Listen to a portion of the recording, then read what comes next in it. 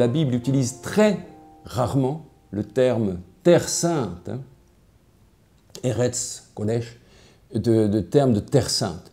Il l'utilise à deux endroits seulement, en Exode 3, au moment où Dieu apparaît à Moïse, euh, donc à la montagne d'Élohim hein, en Madian, et puis un autre texte en, près de Jéricho en, en Josué 5, 15. Ce sont les deux seules mentions de terre sainte que l'on a explicitement. Hein.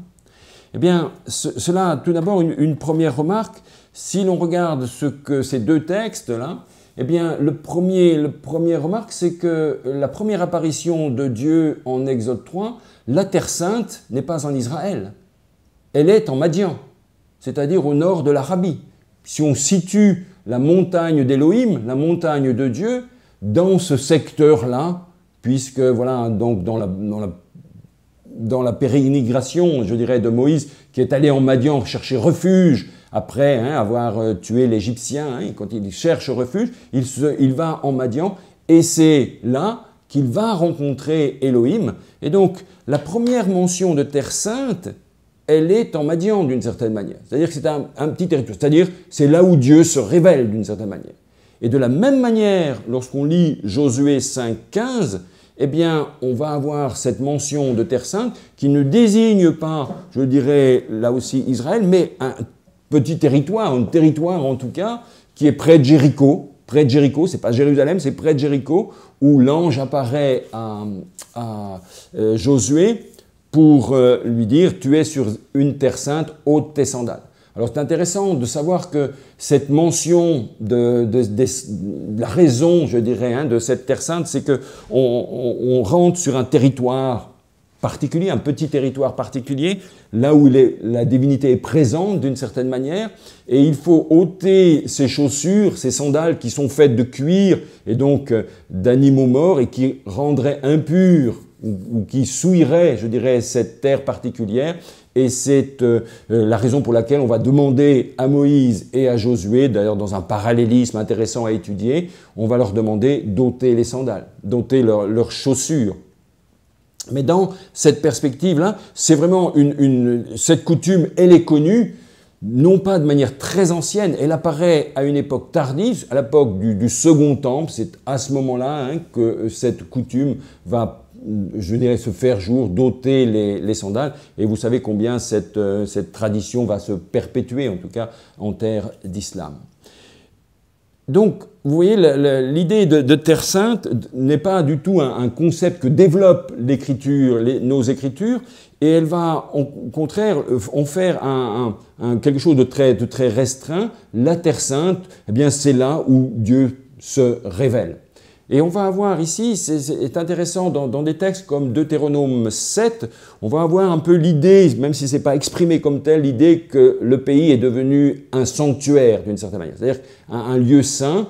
Et donc c'est la raison pour laquelle on va légitimer le fait de, chasser les peuples qui sont sur cette terre pour en faire un, un, territoire qui serait en quelque sorte le seul lieu d'Israël, le seul lieu du culte de Yahvé. C'est une, idée hein, que l'on trouve dans, dans, Deutéronome 7 de manière tout à fait forte et qui peut justifier, qui peut aussi servir de légitimation, je dirais, une sorte de, vision séparée d'Israël. Mais ce qui est vraiment intéressant dans, dans nos écritures, c'est que cette vision séparée d'Israël, une vision dans laquelle il faudrait qu'Israël soit vraiment toujours distinct, séparé, qu'il n'y ait pas de mariage avec les autres peuples. Vous voyez donc toute cette, cette vision très exclusiviste d'Israël, eh bien, si elle est présente dans certains textes bibliques, elle ne fait pas du tout, elle n'est pas du tout normative de tous les textes bibliques, parce que vous avez vraiment une pléthore de textes bibliques qui vont au contraire montrer que, je dirais, se marier avec des étrangers n'a rien d'offensant pour le culte de Yahvé. Euh, prenons quand même les fondateurs d'Israël. Abraham se marie avec Agar, même si Agar doit se séparer de Sarah. Après la mort de Sarah, Abraham épouse Keturah, qui est une cananéenne, avec lesquelles il va avoir une descendance, même si cette descendance sera distincte de celle de Sarah, d'Isaac. Moïse est marié avec une Madianite, une, donc Sipora, la fille de Jéthro. Il va se marier aussi, est-ce la même femme, avec une Couchite nous parle Nombre 12. Et puis, ce qui est intéressant aussi de voir que, vous voyez, cette question du mariage avec, euh, l'interdit du mariage avec des femmes étrangères, là aussi, c'est une coutume qui va se radicaliser, qui va se durcir à une époque tardive de l'Israël post-exilique, après l'exil, au moment d'Esdras Néhémie. Mais auparavant, je dirais, il n'y a aucune, je dirais, véritable interdit, je dirais, d'un mariage avec d'autres femmes.